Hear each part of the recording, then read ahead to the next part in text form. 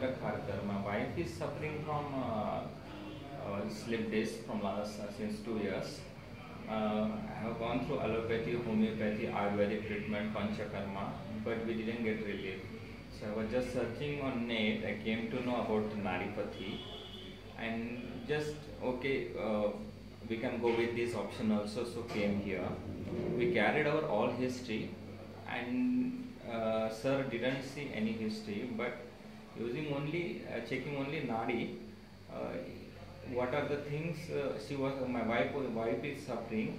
He told everything correct. Like L, uh, she's suffering from l4 l uh, l5 as well as spondylosis so uh, the difference we have seen like everyone wherever wherever, wherever we go there uh, they saw all the history and all then they give the treatment. Here we, need- not to tell any history using only nadi check, uh, doctor can say what are the disease you are having or what are the uh, you are suffering from.